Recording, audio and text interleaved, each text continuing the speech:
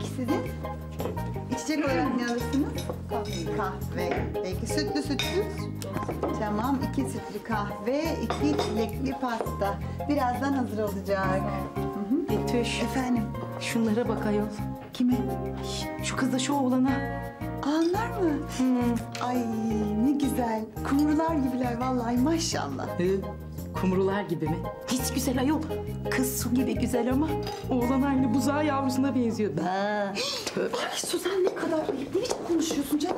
Sana ne onlardan? Birbirlerini beğenmişler, sevmişler yani. Aa, Ay estetik diye bir şey var değil mi ayol? Yani göz var, nizam var. Ay bunlar birbirine hiç yakışıyorlar mı? Ay bu kız kör mü? Karanlıkta mı sevmiş şu kıvırcığı tipe bak Allah yarabbim yemek yiyemeyeceğim. ay Suzan hiç yakıştıramadım yani sana. Olacak şey değil söylediklerin. Canım her şey güzellikle, yakışıklı olmakla bitiyor mu? Ne biliyorsun? Tamam, evet kız çok güzel ama... Belki oğlan da çok zeki.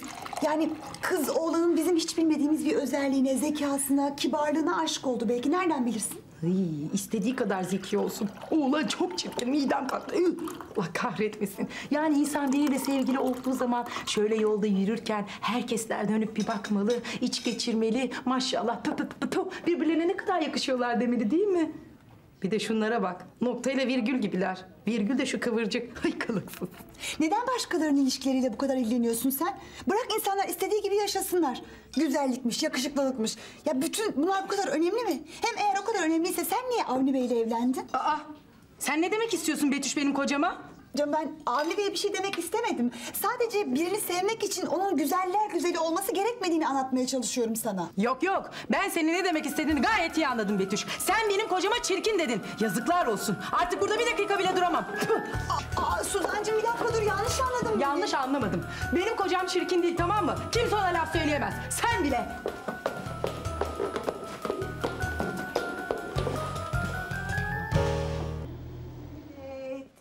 Pastanız geldi küçük bey. Teşekkür ederim Betüş abla. Afiyet olsun canım.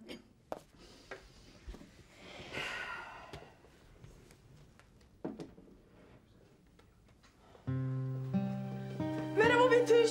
Merhaba teyze. Merhaba. Sen bir başkasını mı bekliyordun? Evet, Suzan'ı. Neden Suzan'ı? O zaten burada çalışmıyor mu? Evet, çalışıyordu ama gitti. Hem de bir daha geri dönmeyecek. Betüş, şu gizemli konuşmaları bir tarafa bırakıp bana neler olduğunu anlatır mısın lütfen? Ya Eda, Suzan'la bir şeyler konuşuyorduk. Söylediklerimi yanlış anladı, küstü gitti. Yazlık periler gelsin veriler. Oo, bu makine de amma yavaş ya. Kolay gelsin.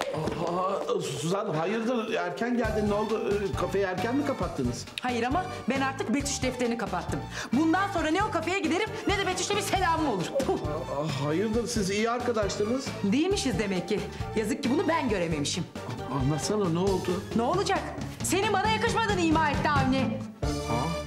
Çok üzüldüm. Ben de. Ve arasan, Suzancığım sen beni yanlış anlamışsın desen. Yok canım, şu anda o kadar hassas, o kadar sinirli ki beni dinlemez bile. Ama sen de yalan söylememişsin ki. Gerçekten hiç yakışmıyorlar. Ay sorun da bu zaten. Ya ben ona yakışmıyorsunuz demedim ki. Ya ille de güzel kadınlar yakışıklı erkeklerle beraber olmak zorunda değil. Bazen zeka, iyilik, dürüstlük daha ön plandadır. Ya sen Avni Bey'le bunların hangisi için berabersin demek istedim. Ama Betüş, burada söz konusu olan kadın Suzan. Yanlış anlaması çok normal. Kadın zaten kocası konusunda hassas. Of biliyorum ya. Ay, keşke bir şey söylemeseydim. Demek Betüş Hanım böyle söyledi ha? Demek ben sana yakışmıyormuş. Evet. Gerçi kadın bir nebze haklı. Onların evine dürbünle, yetmedi teleskopla o kadar çok baktın ve kendini rezil ettin ki... ...kadının ağzına konuşmak için malzeme verdin. Suzan gerçekten üzgünüm. Yani gerçekten üzgünüm Suzan. Ya siz onunla çok iyi arkadaştınız. Avni, akşam gidip onlarla konuşuyorsun ve evimizi boşaltıyorlar. Ben bizi birbirimize yakıştırmayan kiracı istemiyorum. Ama Ama ne? ben, ben- bence böyle davranmamalısın Suzan. Aa! Yani bugüne kadar sen onun iş yerinde çalıştın. İyi kötü sana ekmek verdi. Yani ev sahibisin diye onları evden atmak biraz ayıp olmuyor mu? Ne ne ne ne ne ne ne? Ee, İnsanlar yani istediklerini düşünmekte özgürdürler canım. Yok canım. Evet. Daha düne kadar peri de peri diye sayıkladığın kadının bugün insan olduğunu mu söylüyorsun sen bana? Hayır lafın gelişi öyle söylüyorum. Yani ister peri ister insan. Yani düşündüklerinde özgürdürler diyor. Yok efendim yok öyle şey. Ha, ben senin niyetini şimdi anladım Avni Bey. Onlar gidince perilere bakamayıp canı sıkılacak diye taşımalarını istemiyorsun değil mi? Ha, kuru iftira. Yani iki gözüm önüm aksın öyle bir şey düşünmedim. Puh, nankör.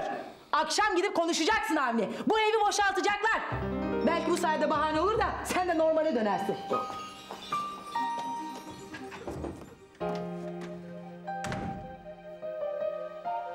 Hayda. Aa Betüş yeter ama bu kadar üzülme. Eğer gerekirse Suzan'la gider ben konuşurum. Bakarız sağ ol canım. Bak ne diyeceğim. Bugün kafede müşteri de yok ya. Bence erken kapatıp gidelim. Aa neden? Ya ne yapacağız ki? Gideceğiz, kocalarımızı alacağız, gezeceğiz, eğleneceğiz. Evet. Bilmem ki. Aa bilmeyecek ne var Betüş? Dışarıya baksana. Hava mis gibi. Çiçekler, böcekler. Tam aşk havası şahane. İyi de Kendal Bey izin verir mi acaba? Ya ne demek kendi aldı izin veririm canım? Aa o da bir alem. Hem bugün hafta sonu esasında kocalarımızın çalışmıyor olması lazım. Sen dua et bizimle geleceğim diye tutturmasın. Çünkü son günlerde biz nereye Kendall oraya, biz nereye Kendall oraya. Tamam canım tamam. İyi bari gezerek gidelim. Biraz konuşuruz sen de açılırsın. Anlaşılan bayağı dertlisin sen. Sorma. Hadi çantanı al çıkalım. Tamam alıyorum. Pembe rüyalar, beyaz düşler, gerçek artık bizim.